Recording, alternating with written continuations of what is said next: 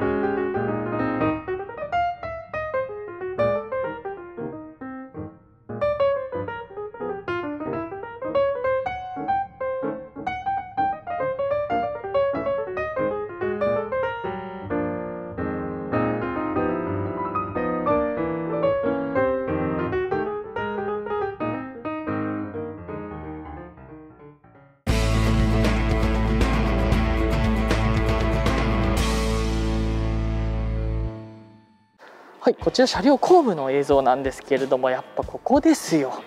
この扉の開け方。これあのウイング式というかこういう風に開くと何て言うんでしょう。まあ隣がね車いる時とかやっぱ幅を取るわけですけどこうやってガチャンと開くとね、えー、最小限の幅で扉を開けられる。といったところのメリットがまずありますよね。で中はこのようになってますからこれだけ広いので本当あの折りたたみの自転車とかそういったものはね楽勝で積めるぐらいのサイズになってます。はいであとは、えっと、生ゴミとかを置けるようなスペースっていったところも当然ありましてこの部分ですね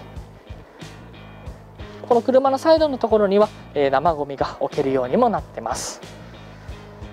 でベース車両のこのデザインっていったところもすごく、えー、かっこいいなと思ってましてもともとこのフィアットがデュカトですねがベースとなってますけれどもそのもともとの車の流れに沿って、えー、こうデザインされているお車になりますね。で、えー、このお車なんですがまずエントランスの扉のところ行きましょうか。この部分なんですがこれと確かあのオートクローズクローザーですね、えー、ハンドアの時とかはこれ閉めるとねぐっとこう閉まってくれたりとかこれはシェードの部分なんですけどこれ今曇って見えるの分かります？これ、えっと、自動であのシャッターを閉めてくれる、えー、作りになってるんです。これ中に液晶みたいのがおそらく入っていて、えー、閉めたりすると中が自動で見えなくなったりするという作りになっております。実際はね、まあ、あのちょっと今これはもう展示車になっちゃってますのでえバンテックさんにね直接お問い合わせいただければなというふうに思います。ではその室内入っていきましょう。こちらが運転席と助手席になります。確かフィアットのデュカトって少し前に数年前にベース車両が改良されまして6速から9速にえオートマがなったはずでございますね。かなり直進性は高くて運転はねしやすくえ故障も少なくなっているというふうにはですね聞いています。そしてその後ろ側こちらがダイネットの部分になるんですが横乗りのシートで座るとこのようにテレビが見られます。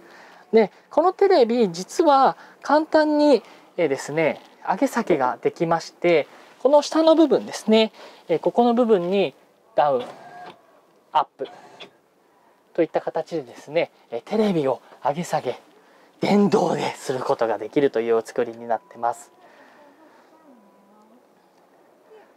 で上は天袋ですね。ついてます。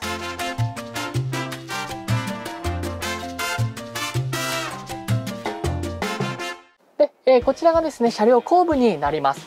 これだけてくださいこれだけでもむちゃくちゃかっこいいですよ。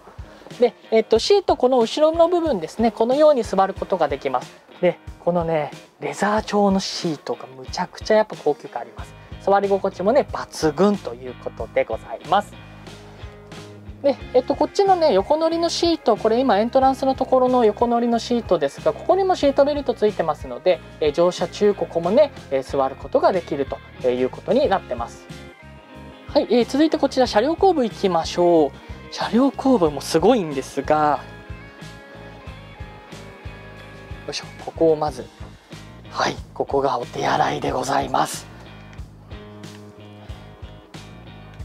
下の部分にはえー、アメニティとかがね置けるようなスペースもあるんですがもちろんそれだけじゃなくて上にもねこうやって収納スペースついてます。でこっち側はねガラスあごめんなさい鏡になってますのでね朝お化粧する時とかも使えるということになってます。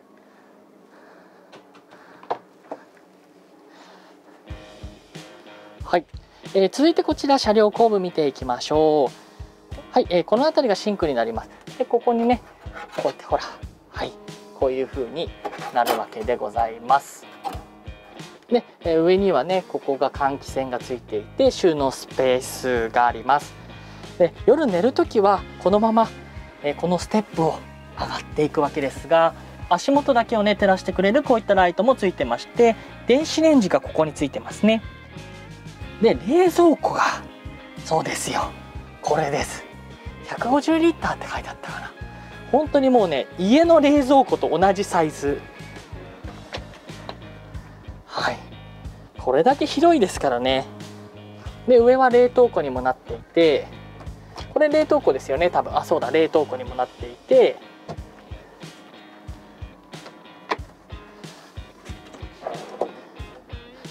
下がこのようになっています。本当に家の冷蔵庫って感じですよ。でもちろんベッドにもねあのこだわりがありましてこれだけの厚みのベッド使ってます。はい。でこの照明の感じねご覧いただいてわかるかと思いますけれども本当にホテルのねような間接照明も含めて、えー、明るさ目に眩しすぎないような、えー、色のね、えー、色合いが使われております。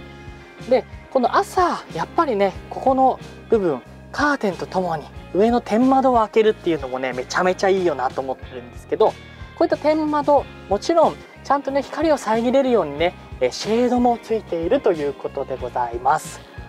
はい。